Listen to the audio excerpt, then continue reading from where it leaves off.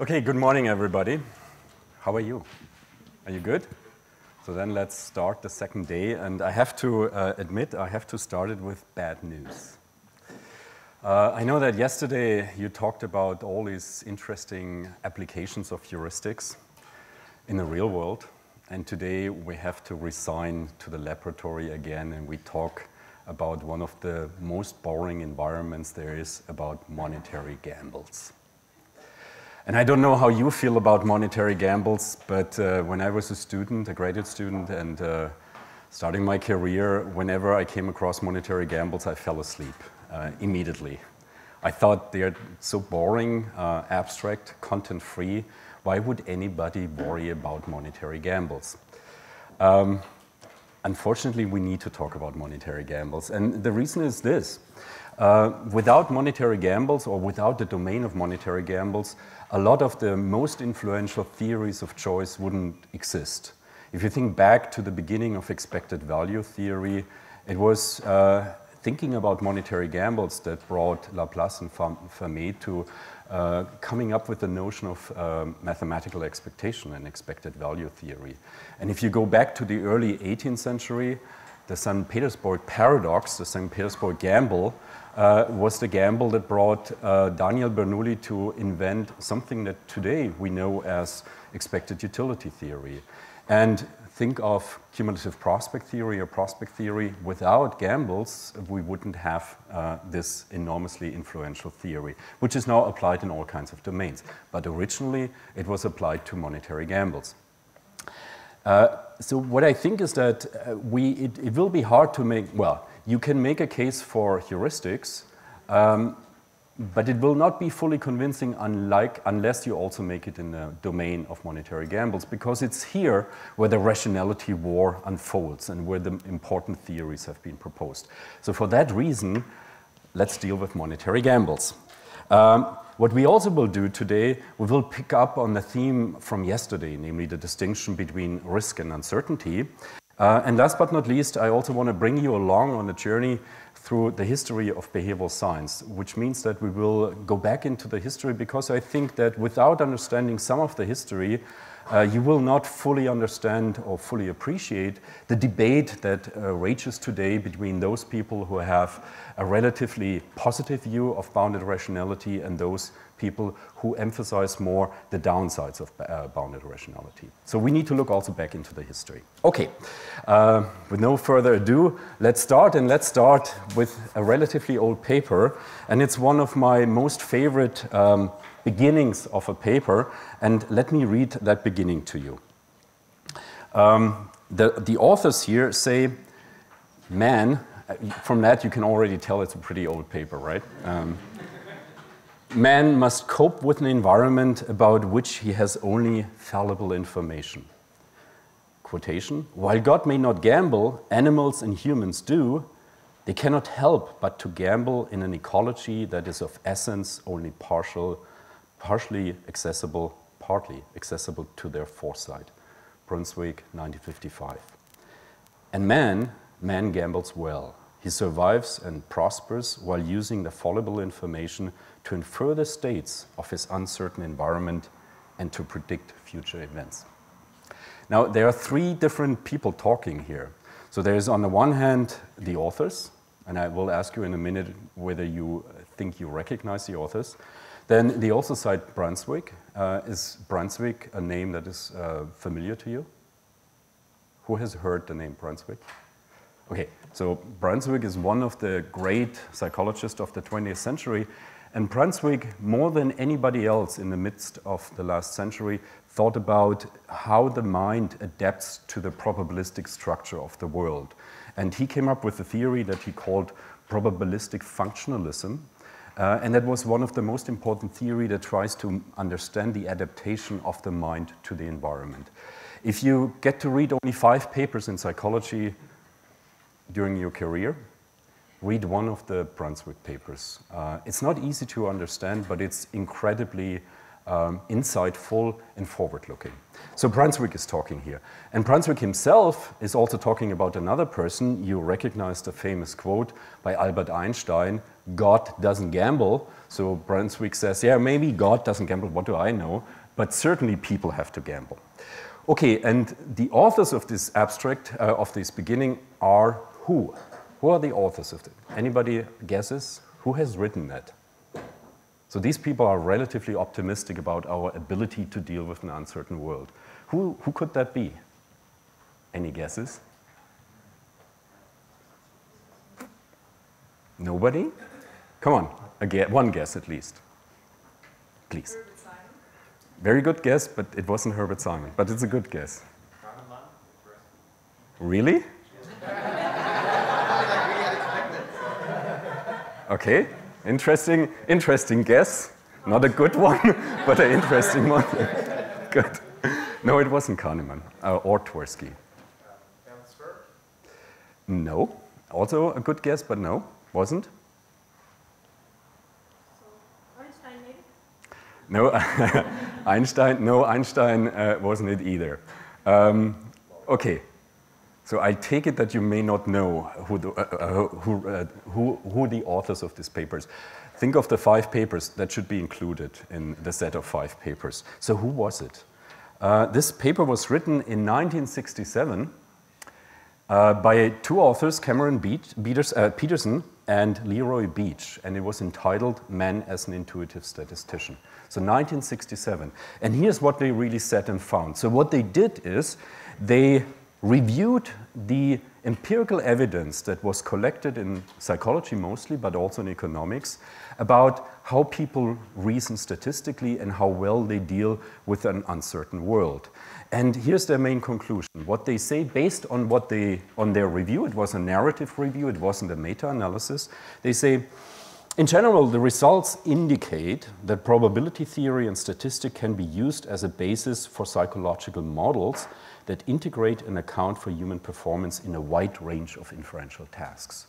In other words, what they are saying is that if you, as a modeler of human behavior, interested in how people make uncertain inferences, if you want to model that, start with models and theories of statistics and probability theory, because that's an excellent starting point. It's not the full story, but it's an excellent starting point. That was five years before this paper was written. This paper was written uh, 1972, uh, and five years later, the world turned around. The world turned upside down, and there was a paper written by Kahneman and Tversky, it was one of their first papers, in which uh, they arrived at the following conclusion. They argued, in his evaluation of evidence, man, again it's an old paper, man is apparently not a conservative Bayesian. He is not Bayesian at all. And notice the, the word that they are using. He's not a conservative Bayesian. He's not a Bayesian at all. Not a conservative Bayesian is a reference to one of the people who contributed to the first set of results that was reviewed in Peterson and Beach, namely Ward Edwards. Ward Edwards is the founding father of behavioral decision research. He started out his career in the late 1940s and produced a lot of papers that went into the review by Peterson and Beach. And he concluded, among others, he concluded people are actually pretty good in Bayesian reasoning. They are a bit too conservative. In other words, they stick too much to the priors and are not updating enough, but overall, they follow the prediction of the Bayesian model in a qualitative way really well. And what, Amos, uh, what Amos Tversky and Danny Kahneman are telling Ward Edwards, and Amos Tversky was working in the laboratory uh, for some time of Ward Edwards, they are telling him, Ward Edwards, the great father of, the founding father of behavioral decision research, they tell him, you're totally wrong. You're totally wrong. People are not even Bayesians. So, in other words, within a few years, we have a totally different story, a totally different view on the human mind, where the assumption is people are using simplistic, simple heuristics, simplistic heuristics. They are quite good sometimes, but they also are error prone. They produce a lot of errors and biases, systematic and severe errors and biases. So in other words, within five years in psychology, we have a totally different view of the human mind. And the question that I'll pose to you, and I will not answer it right now, but if there's enough time, we go back to it in the, uh, in at the end of the talk. And a lot of the talk that I'm giving today has, has to do with that gap. The question that I would like to pose to you is what happened? What happened? What happened that within a few years we're accepting a quite different story about the human mind. In the, 40, in the 50s and 60s, we believe that people are really good, that statistics and probability theory is a good starting point to model human behavior when it comes to uncertainty. And in the 70s, 80s, 90s, and up to the present, we seem to believe the opposite. How is that possible? This is the first puzzle I wanted to pose to you, and here's the second puzzle. And this is also, if you will, it's a rationality gap of another kind that occurred much earlier, uh, much later in history. It's a gap that uh, actually we discovered recently uh, in a now meta-analysis, uh, and it's worked together with Dirk Wulff. Um, and what we did is that we did a meta-analysis on studies that deal with what we have called the description experience gap. And I will tell you about what that really means in a second, but let me first introduce you to this rationality gap. Now, one benchmark of rational behavior is making choices in monetary gambles that meet the criterion of expected value maximization. And what we found looking at many, many different studies is that in description-based studies, I'll tell you about that in a sec, um, we find that people are hardly described as expected value maximizers. In fact, uh, the level of maximization is hardly better than 50%. But once we move to experience, and you can distinguish between complete experience, which means people saw all, experienced all the outcomes in the gambles, or incomplete experience where they only uh, experienced a subset of the potential outcomes, what we see is that in those two conditions, the maximization rate is substantially higher, 66% under complete experience and even 88% under incomplete experience. Why? How is that possible? Now, before we go to why that may be possible, uh, let me first introduce you to what I mean with description and experience. Now, here's one of the most famous description-based study in the history of decision science. This is a paper published in Econometrica by Maurice Allais, and I, I, I, assume that many of you know the name. Uh, he was one of the most outspoken critics of expected utility theory and the axiomatization of expected utility theory, and he showed empirically that a lot of choice behaviors of uh, people are inconsistent with expected utility theory. And this is decision from description. What I mean with that is that you see two choice situations, and you see that all the outcomes and all the probabilities are fully described. In other words, what I do as an experimenter, I give you all the information on a silver platter and ask you to make a choice. There's no learning, there's no search, um, there's no uncertainty. It's just risk. You know completely about the probability distribution and the outcome distribution. Now, what's interesting, if you look at contemporary psychology, but also partly in economics, but in particular in psychology, it seems that we all love to study decision from description. Here are a few examples. The Allais paradox, the fourfold pattern of risk attitude, the certainty effect, the reflection effect, loss aversion, are all based on decision from description, in which we give all the information to the decision maker. The framing effect studies. Uh, if we try to measure people's risk preference in a Holt and Laury tradition, is based on description. No learning, no search for information. And in fact, you could continue that countless studies on risky choice, on intertemporal choice, on Bayesian reasoning, on deductive reasoning, on moral reasoning or causal reasoning. There's no uncertainty. There's no learning. All the information is given to you and you make a choice. Now here comes the interesting question. Is that how we make decisions in the real world? Perhaps not. Perhaps in the real world, nobody gives us the information on a silver platter but we have to learn, we have to look for information. And that raises the following question. To what extent does all these results hold in the real world? Or to what extent are these possible, not artifacts, but possibly restricted to the world of risk and a world in which we do not have to learn and in which we do not have to search for information, at least, at least not in a sequential way. Now, there was that very question was the starting point of three papers that were published in the early 2000s. In all these three papers, they wanted to know where, to what extent, when we study description experience in parallel, to what extent will that lead to the same choices or to systematically different choices? And of course, the underlying question was, are the results that we have, that we found in the laboratory, do they generalize to the real world? Do they generalize to uncertainty? Do they generalize to learning and information search? And what these papers found is what later has been called a description experience gap, which is the insight that there are systematic differences between description-based studies and experience-based studies.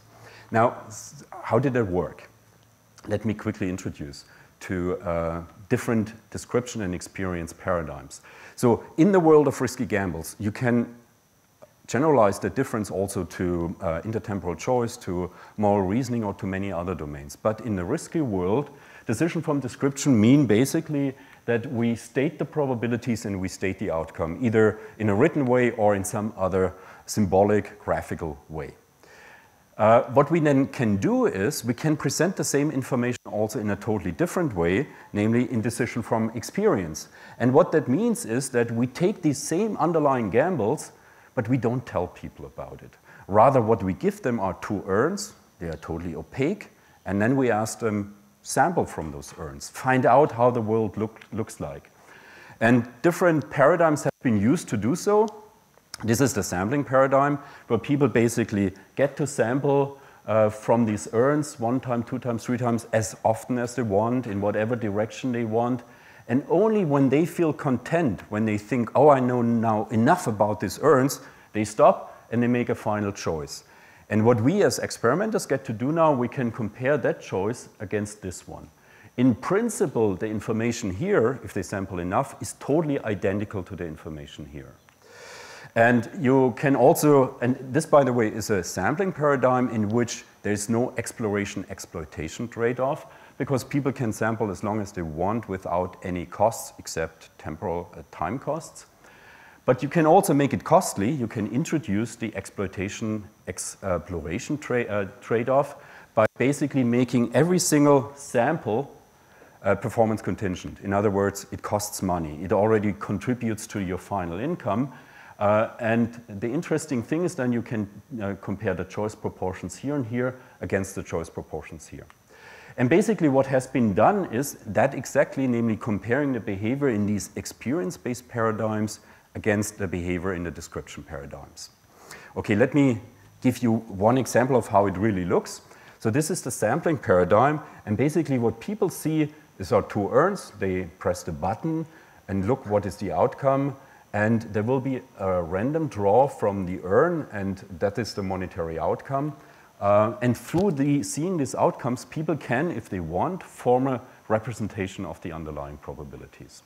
They can sample as long as they want, they can go back and forth, but once they are content with uh, what they know, they stop, uh, and then they make a final choice, and this final choice then is incentivized. So at this point, the person stops, this, you see the decision screen, they make a final choice, and that's it.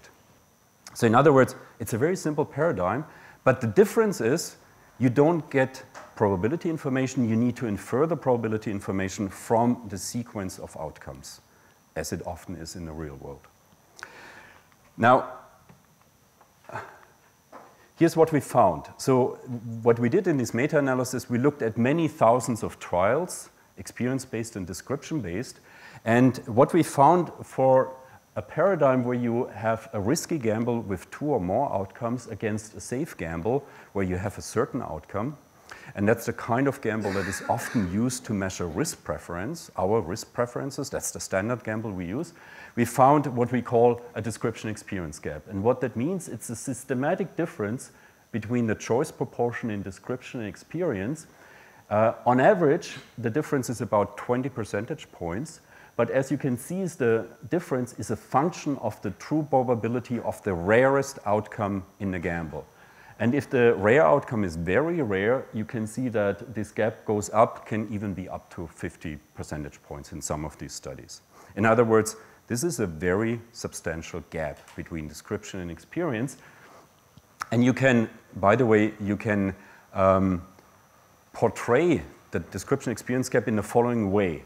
The gap is as if people underweight rare events in decision from experience and overweight rare events in decision from description. Okay. Going back to this. So this is just a different illustration of this gap. And uh, it shows that um, bringing, back, bringing the puzzle back, it shows that there is a higher maximization rate in experience than in description. And what we started wondering, why is that? Why is it that in experience people seem to uh, be more rational or more in accordance with maximization of expected utility than in description? Uh, there are different possible answers. But what I will propose to you is one possible answer. And this possible answer brings us back to heuristics. Uh, specifically, what we wondered is whether and what role heuristics could play in this distinction. Yes, please, go ahead. So, if I understand correctly, does that go against the, um, paradigm of prospect theory because there will be the um, under the overweighting of small probabilities from description, there will be a prospect theory feature. But then the question oh, one class was, but then it doesn't really matter which kind of experience it is. Like imagine that there's a super rare event that's really shocking, you know, like an avalanche like hits me even if that's super rare. Wouldn't I then be totally, you know, I experienced that and then I maybe overweight it uh, compared to another very rare event that, however, is not really important for me? That's a very good question. Um, let me rephrase it slightly so that you all hear it and that um, I'm all cabled up so that the, the, um, that the camera hears it. Um, so the, the question here is, once you experienced a rare event, wouldn't then the opposite occur, that you are overweighting the rare event? Uh, that because it's so mighty in your imagination. And indeed, that is correct. Uh, the evidence available seems to suggest, for instance, when people are involved in a car accident, uh, there's a time, right, a window of time window after the uh, event where they are very careful and seem to be overweight, act as if they overweight the likelihood of an accident to happen. But what then happens is that uh, with your experience, and the experience is that um, car accidents are rare, nothing happens, you go, you drive again. With the experience, you unlearn the rare event in a certain sense. In other words, you are reverting back to the possibly underweighting uh, probability pattern. Uh, so in other words, experience, that's very interesting. Experience is not static. Experience is dynamic, which also could lead to a dynamic change in the way you weight uh, rare events or events in general. Okay, uh, I promised you that we are going now to heuristic because we are thinking about this distinction. And that brings us back to another old piece of work. And I know there's one person uh, in the room who knows the author of this paper very well. The author of this paper is Warren Thorngate. Warren Thorngate in the 1980s wrote a paper about choice heuristics. The title of the paper was Efficient Decision Heuristics. Remember, 1980s, uh, 1980s was in the midst of this new movement in the midst of the time where everybody thought more about the downsides of heuristics, where everybody was concerned with the biases and mistakes that heuristics cause. That was the zeitgeist. Uh, and Warren Thorngate did the following thing. What he did is that uh, he looked at 10 simple heuristics for preferential choice. These heuristics could be found in the literature. So he didn't invent them, but he found them in the literature. And he conducted what was one of the early computer simulations at the time. So he had a tournament in which he used randomly generated lottery uh, choices, and he wanted to know how good do the heuristics perform relative uh, to uh, expected value maximization. In other words, are heuristics so bad that we should totally give up on them, or could they possibly approximate expected value maximization? And here's the conclusion by Thorngate. What Thorngate says is a wide variety of decision heuristics with, will usually produce optimal or close to optimal choice and can thus be termed relatively efficient. In other words, what Thorngate argued in the 1980, in 1980 is that, hold on, hold on a minute. Uh, despite all the heuristics and biases that, uh, the, despite all the biases that heuristics seem to be producing, I find in this simulation that heuristics are really good. Do you think that this paper received any attention? Uh, I yesterday went to uh, Google Scholar and looked up what the quotation, what the quotation, uh, the number of quotations of the paper, and what I found is that the paper wasn't completely ignored. The paper got 264 quotations. That's not bad, but if you compare it to Kahneman and Tversky, that was 1972. That was the paper where they argued people are no Bayesians at all. It has over 5,500 uh, quotations. In other words, relative to the impact of the message that errors, uh, that heuristics may be error prone, this message, Warren Thorngate's message, was mostly unheard. Okay, what I would like to do is that I tell you a little bit about the simulation and I, will restrict it to just two heuristics so that you have an idea what these heuristics are. So the first one, and that's the most important one because it's the most successful heuristic in the tournament, and it's also the one that will keep us a little bit busy for the rest of the talk, is this. It's called equiprobable heuristic. And basically, here you see a gamble. It goes back to the Allais paradox. You see uh, option A, 100 with one, with, with you get with certainty, or you can get 500 with a probability of 10%, 100 with 89%, and zero with 1%. And the question is now, how do you choose between these two options? And what equiprobable does is this. Equiprobable says, ah, let's forget about all the probabilities. We, we, we uh, treat all outcomes as if they are equally probable. And then what we do is we just basically add up the outcomes. And so I, I look at all the outcomes, add them up, and then I choose the outcome, I, I choose the option which on average offers me the better outcome. So uh, option A offers 100, option E offers on average 200. It's clear? That means I take option B.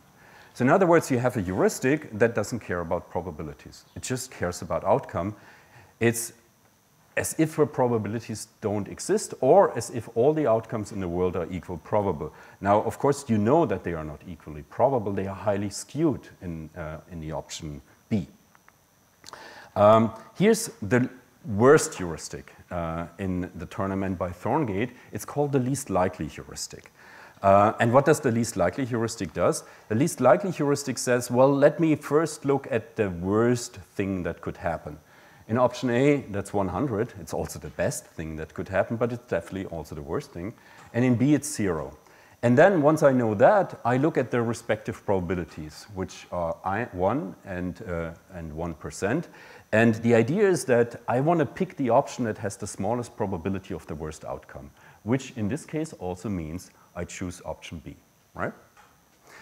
Um, so again, this is a very simplistic uh, heuristic in the sense that a lot of information in between is totally ignored, as does the equiprobable, which ignores all the probability information.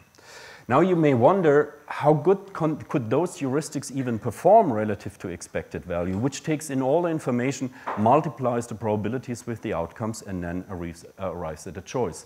So what we look here is the performance of just these two heuristic in the so-called Thorngate environment. Thorngate environment means that the probability distribution and the outcome distribution is a rectangular distribution. So each outcome is equally likely to be drawn and each probability value is equally likely to be drawn. That was what uh, Thorngate used as the underlying environment. And what you see here is basically the percentage of the best, highest expected value alternative chosen for equiprobable and the least likely. And what you see is that if there are two alternatives and uh, two, four, and eight outcomes per alternative, the performance is really good. It's up to 90%. That's not bad. I mean, it's not quite 100, but it's really good. Uh, but if we go down to four alternatives and eight alternatives, you see that the performance drops. The performance is still much better than the respective chance level, but you see it's not perfect performance. Uh, and uh, in fact, uh, if we look at the accurate performance, you also see there's a pretty substantial price tag that you pay for using a heuristic and not expected value. You pay a price tag of 25 percentage points. So if you are investing in a stock market, that would be not a trivial difference. Um, that, that's pretty costly. Uh, but you also see it's not, it's not terrible, uh, but it's so in other words, maybe Warren Thorngate overstated the case a little bit. Maybe they are not quite as optimal as they seem. Uh, here, even worse if you use least likely. If you use least likely, then basically you are worse on average than chance. Okay, um, there are two uh, weaknesses in Thorngate's analysis. The first weakness is it's again still, it's the world of risk. It's the world of decision from description. There is no uncertainty. Nothing has to be learned. It's all given to you. That's one problem. The other problem is Thorngate didn't really think much about Simon Scissors. Simon Scissors, you remember, did it come up yesterday? Okay, Simon, so you, everybody knows Simon Scissors. The two plates that work together, the ecological and the cognitive plate. And Warren Thorngate didn't think about the, uh, the ecological plate. In other words, he didn't think about under what circumstances will a particular choice heuristic work well and when will it falter. So he didn't have yet uh, an, a Brunswikian or uh, a Simonscian perspective on decision making. However, that changed. That changed with uh, another important piece of work. And this piece of work happened in the late 1980s, early 1990s. Uh, and that was based on a book uh, which is called The Adaptive Decision Maker by John Payne, James Bettman, and Eric Johnson. Who knows this book? Okay. Uh, if you have to read five books, you may want to think about including this book. It's an important book uh, because it brought uh, into the discussion about heuristic the following idea. Uh, each strategy, so in, in, we have a repertoire of different decision strategies. And different decision strategies have different levels of accuracy they uh, achieve and different level, levels of effort. And the idea was that we can uh, make a rational accuracy effort trade-off. Idea being is that if I want to reduce my cognitive effort by using a heuristic, I take into account that the accuracy level goes down. But sometimes that's okay because I'm not that worried about accuracy, but I'm worried about my cognitive effort. So basically, I can, by using different strategies, I can play with that accuracy effort trade-off. But here's an important point in that metaphor. The metaphor suggests and implies there is always an accuracy effort trade-off. In other words, if you use simpler strategies, you will pay a price, and the price is reduced accuracy. And that's an interesting question whether or not that trade off always holds, or whether there are circumstances under which you are actually getting both simplicity in the process and high accuracy. And I think that yesterday and possibly today you see a couple of examples that maybe uh, that that trade-off may not is may not be inevitable as it was made out in this uh, important piece of work. What they did is they introduced another heuristic, uh, which many people talked about. It was called the lexicographic heuristic. And the lexicographic heuristic does this. Uh, it first looks at the most likely outcome, which is, a, uh, which is 100 with probability of 1, and it's 100 with a probability of 89%. And then what it does, so it identifies what is most likely to occur, and then it says, I'll take the one that is best. In other words, oh, here I get 100, and here I also get 100. Eh, doesn't help me, doesn't help me to make a choice. So what I do next is I look at the second most likely outcome, which is in this case uh, this outcome. In the other case, it remains the same. Uh, and then I compare 500 against 100. Clear, uh, option B is much better than option A. That's the lexicographic heuristic.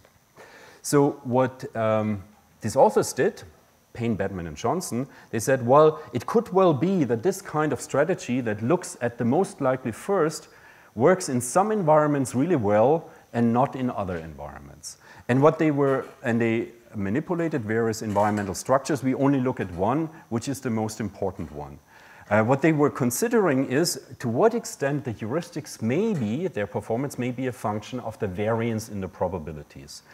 And uh, what they distinguished were low probability worlds and high probability, uh, sorry, high variance worlds and low variance worlds. A low variance world is one where all the outcomes are about equally uh, likely. And the high variance world is one where you have one outcome, for instance, one outcome that occurs with a very high probability and all other outcomes are much less likely. And here's what they found. What they found is that the lexicographic heuristic is really successful in high variance outcomes, uh, high variance worlds, but not in low variance worlds. And the difference is really substantial. The difference is about 20 percentage points. Um, the opposite regularity holds for equiprobable. In other words, the equiprobable heuristic really works well in worlds where there is little variation in the probabilities, but it works substantially less well if there is uh, much variation. Which suggests, by the way, that maybe as the ideal decision maker, adaptive decision maker, what you should do is that if there's high variance, go with lexicographic. Is that if there's low variance, use equiprobable. However, what's also true is this, Overall, across all the environments, there was a front runner, and the front runner again was equiprobable. In other words, if you don't know anything about the probability structure, uh, it's a good idea to bet on equiprobable. Equiprobable performed much better than lexicographic, but still, there was a substantial price you pay. It's still uh, only just 79%. I should say, uh, one second. Uh, this, again, is still in a world of risk and decision uh, from description. It's still in the world of risk. Yes, please. How was performance evaluated? Is that compared to expected value ma maximization or as prediction? In, it's not prediction because there is no prediction. Uh, because it's the world of risk, all the information is given. But the benchmark was expected value maximization. Yeah. Okay, so yes.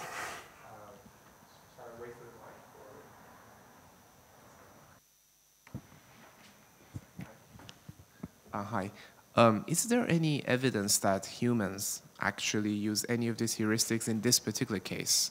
Because I would think, well, you have an intuitive feeling that option B is far better. Uh, um, so, so that's really my question. Obviously, I can understand that in more uncertain situations, mm. we would use these heuristics, but in mm. this particular case, mm. is there any reason why? Um, there's a, that's an interesting question because if you look at the um, literature, you have two strands of literature in risky choice. And one strand is what's called process tracing studies. Process tracing studies are studies that try to understand what is the psychological process people are using and then there's the other literature which is not so much interested in the process, but really in the outcomes, in the choices, whether they are following, for instance, the maxims uh, of expected utility theory. Uh, and these two camps don't talk too much to each other. If you look at the process tracing strand of the literature, then there is evidence that people use heuristic methods. That doesn't mean that they use one specific heuristic, but they act in, and search for information in ways that is more consistent with the heuristic processing than, for instance, with expected value processing. Yeah? So in other words, I cannot tell you that there's lots of evidence that people use exactly that or another heuristic, but I can tell you is that the process tracing evidence suggests that people are using heuristic processing strategies. Okay? But, but here is still the problem. The problem is, hmm, we're still in a world of description. We're still in a world of risk. There's no learning, every, all information is given to you. And here comes the question. Should we expect that it makes a difference if once we move from risk to uncertainty? And um, you talked about uh, heuristics yesterday, and mostly you talked about inferential heuristics. In other words, you talked about heuristic where there's a, a, a real objective criterion in the world and we can judge the performance of a heuristic. And what you have found, and there are many examples, or what you have heard, and there are many examples in this book, is that simple inferential heuristics can do really world, uh, well, and under some circumstances, they even do better than complex models. And what you learned yesterday in Gerd's talk is that a key to understanding why that's possible is this bias variance dilemma. And let me quickly uh, recap that. So the idea is, that, is this. Any prediction model, heuristic, complex strategy, whatever, consists of two components, makes an error that consists of two components. The bias uh, part, the variance part, and the noise part. Let's ignore the noise part for the time being, just look at bias and variance. And what you see here on these two targets is basically a prediction model that has uh, a very specific bias, namely shooting always to the lower right, but it has very little variance in its predictions. Uh, whereas in this case, you have basically no discernible bias, but you have lots of variability.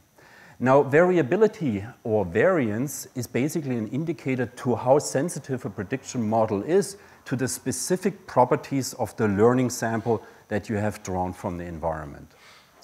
And the higher the variance part, the more sensitive the model is. And a more flexible model, which means a model that has more uh, uh, adjustable parameters, will usually suffer from higher variance. It is wonderful because it can also capture the underlying true structure in the world that I want to predict, but it's also capturing the noise part. And that is the trade-off. Uh, and the trade-off means that typically in heuristics, you have a very strong bias, a relatively strong bias. Think of equiprobable. Equiprobable basically says that it's his theoretical bias. All outcomes are equally probable. That's very strong. But it has very little variance because there's not much that you need to estimate. Uh, other models that have more flexibility, uh, they typically uh, have uh, uh, much less of a bias, but they suffer from the variance part. Now, here's the question. Could it be, in all the studies that we looked at, Thorngate and Payne, Bettman, and Johnson, what we did is we kind of reduced the variance part because we gave all the information about the environment to the decision maker. And what we do as a result of that, we basically favor the more complex models. And we disfavor or disadvantage the heuristic models because the heuristic models, they still have the strong bias and they don't get the benefit from the lower variance part. That would be one hypothesis, one expectation that we may have. Now, is that true? Uh, with that, let's, uh, that's what we did. So what we wanted to know is what happens to the whole results about choice heuristic once we move from the world of risk to the world of uncertainty. Here's what we did. We like Thorngate and Payne, Bettman, and Johnson, randomly generated lotteries. They con could consist of two, four, or eight outcomes. And they had two, four, or eight options. For the time being, I will just focus on the part where we have two options to simplify uh, the results. And unlike Thorngate, we had 20 different environments. Uh, we had a total of four different probability distributions and four different outcome distributions. And we teamed them up, and as a result, we had 20 different environments. We wanted to basically implement all kinds of different possible structures to see how these heuristics perform in different structures. And then here comes the important part. Now we introduce uncertainty. So what we tell the heuristics, the decision maker, is you know nothing. But you get to sample from the world. You can sample one time, make a choice. You can sample two times, make your choice, three times, make your choice up to 50 times, which is quite a bit, and each time you make a choice. So we could see, as a function of the reduction of uncertainty or the level of uncertainty, how would the heuristic choose. And what we did is we also looked at total, a total of 20 different choice models, heuristics, expected value theory, cumulative prospect theory. That's all too complicated for the time being. I will just focus on heuristics and expected value. That's all we are looking at. Okay, so here's what we do first. Uh, we go to the Thorngate environment, which, which is just one out of the 20. The Thorngate environment is the rectangular outcome distribution and the rectangular probability distribution. And we will look now at three heuristics, equiprobable, lexicographic, and least likely, and we compare the performance against expected value, but we force expected value to sample two. Expected value is no longer omniscient expected value has to sample from the world as everybody else gets to do. And then we wanted to know, so what is the performance? And uh, what you see here already is uh, the average is, is, the average performance now in terms of average expected value of the chosen alternative for two, four, and eight outcomes as a function of whether you sample five times, 20 times, and 50 times. And what you see is uh, basically expected value uh, learns very quickly, but originally it's of course not perfect.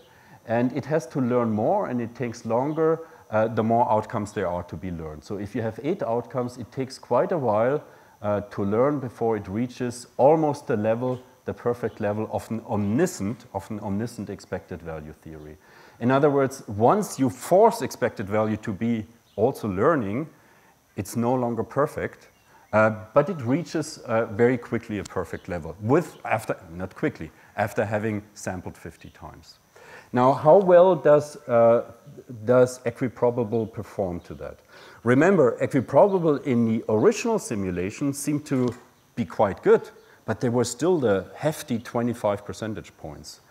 Um, how does it look now? This is the performance uh, of equiprobable. And what you see now is that uh, the difference between equiprobable and expected value, once expected value samples, is much, much smaller. And in fact, if you look, for instance, here in this case, it even is the case that the, the performance can be distinguished anymore. And remember, this is a model that doesn't look at probabilities. It ignores probabilities altogether. And under some cases, you even see that equiprobable is slightly better than uh, expected value, in particular when the sample size is very small. Uh, this is the performance of lexicographic, which is worse, and the worst one is least likely. Now we can also, uh, we can ask the following question. We do know from the Payne, Bettman, and Johnson simulation that equiprobable performs well when the variance in probability is small, right? That's what we know. So the question here is that, ah, that's interesting, but it's just a, a one-trick pony, right? I mean, this would not hold across all the 20 environments. That's just not very likely. Uh, and that's the question that we wanted to address next. Is the equiprobable heuristic a one-trick pony that only works in a Thorngate environment, and it will falter once we put it in other environments? So what we did next is we looked at all 20 environments. Uh, they are now very different. And again, it's the same idea. We compare these four strategies. Expected value has to sample and learn from the environment. Uh, and we can, and, and, what we did now is uh, we express the performance now uh, we normalize the performance, and basically the performance is expressed on a, a percentage scales. 100% means that the strategy always chooses the best option. Zero means the strategy always chooses the worst option, and 50 means the strategy samples uh, randomly. We had to do that because now the values in the environment were very different. We had to normalize that. Uh, and this is the performance uh, of expected value if there are two outcomes, this is the performance if there are four outcomes, and this is the performance uh, when there are eight outcomes. And it's basically the same result as before. When there are more outcomes, it needs more to learn. It takes a little bit longer. It takes longer until it reaches the top performance. And the top performance is really good. So after 50 times, 50 sampling, it's almost there where an omniscient expected value model would be. Not surprising. That, that's, that's to be expected. But what about equiprobable? Uh, equiprobable now reaches this performance. And we can also quantify that by saying that the difference between expected value and equiprobable is at this point 3.4 percentage points. In other words, in other words, once we move from risk to uncertainty, the heuristics do, do substantially better than in the world of risk. The difference, the gap, the performance gap reduces, and not only that, if you look at the condition where uncertainty is very high, my sample size is very small, you actually see no difference at all. In other words, if you know very little about the environment, if you know very little about the environment, you are uh, as good off ignoring all probabilities uh, than using expected value maximization. Now, because we manipulated outcome and because we had many different outcome and probability distributions, we could also ask this question. What properties of Joyce environment support which heuristic? And what we did is we looked both at the role and impact of outcome distributions and the role and impact of probability distribution. And I will simplify that. Let me tell you that the outcome distribution doesn't matter. It doesn't change the performance of the heuristic. What matters are the pro is the probability distributions. Uh, and uh, what we did is that we looked at lower variance probability distributions, a rectangular usually, I, I, I, don't bother you with the details. So all you need to know is that we looked at lower variance environments and higher variance environments. And what we found is the following. This is a lower variance environment, the rectangular uh, probability distribution again, Thorngate. And what you see here is basically the learning curve now in much more detail for expected value, which needs to sample from 1 to 50 times. And that's the learning curve. Uh, and what you see is that once you have sampled 50 times, you almost reach top performance. Now let's compare that in that environment to equiprobable. That's the learning curve of equiprobable. And what you see is that there, are, there is a, there's an area of uh, uncertainty where equiprobable actually, where you are better off using equiprobable than expected value. Only at the very end, it is the case that expected value performs better than equiprobable. But in this range of the twilight of uncertainty, the twilight of knowledge, uh, you may be better off doing expected, uh, doing equiprobable and ignoring probabilities altogether. That's, that's a lexicographic strategy. And now we, of course, are interested in will that change if we change the variance? And what you see here is four uh, environments, uh, two environments which have lower variance and two environments that have higher variance in the probability information. And what you see is when the variance is lower, it's always the case that equiprobable is as good as expected value, sometimes outperforms it. Lexicographic is worse, substantially worse. And if there's higher variance that's turned around, then suddenly lexicographic outperforms equiprobable and equiprobable is worse, right? So we find, in other words, we find again under uncertainty the same thing that uh, Payne, Bettman, and Johnson found. However, remember overall, overall, equiprobable is by far the best strategy. If you don't know anything about the environment, pick equiprobable over the lexicographic strategy. Okay. With that, let me come to the conclusions. So what I wanted to show you and convince you of is, uh, we, yesterday you talked about inferential heuristics. Uh, and inferential heuristics, in particular when they have to deal with uncertainty, can be really good. And sometimes they can be better than uh, complex models.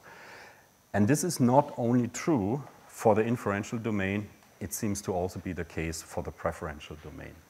Um, they can be surprisingly accurate, and the interesting point is that this level of accuracy is much higher once you deal with experience, once you deal with uncertainty relative to dealing with risk. And that has something to do with the bias variance dilemma. If you don't know anything then pick the best, the pick equiprobable because equiprobable is the best heuristic both under risk and under uncertainty. And it's a strategy that paradoxically ignores all probability information. It treats all outcome the same. And under limited knowledge, remember in a condition where only five times has been sampled, under limited knowledge, this strategy outperforms expected value maximization. You are better off ignoring probabilities if you know very little about probabilities than trying to capture than trying to catch them. Um, the key environmental property is variance in probabilities. If the probability variance is high, then equiprobable drops in its performance, but it's relatively fat, uh, fat flat, uh, then this is a really good model. Um, here's a final point. I wanted to actually talk about this simulation as well, as well, but there's no time. But we found something similar in strategic games. Uh, and Leonidas is sitting here in the back. He's the, uh, he's the mastermind behind that simulation and work. And what we found there, so what we did is that we used one-shot strategic games. And in these strategic games, uh, you have to make a prediction about your opponent. You need to predict which of the two possible strategies the other person is using. And that requires making assumptions about the other person also, for instance, rationality assumptions. And what we found is that the most robust heuristics that perform better than Nash equilibrium, that perform better than Nash equilibrium, are strategies that uh, weigh the, the strategies of the opponent equally. In other words, that make no assumptions, they, they, assume that both strategies are used with equal probability. In other words, there seems to be something really fundamental about how we deal with probabilities, and there seems to be something very robust about assuming, about assuming indifference, about assuming equal, uh, uh, equal probabilities in the world. Um, last but not least, and I will stop here. Um, what, does, what does that have to do with uh, Peterson and Beach and Kahneman and Tversky? Um, maybe you have a suspicion now what it could have to do with uh, these two set of authors. Uh, and if you are interested, we can talk about that in the discussion. Thank you very much.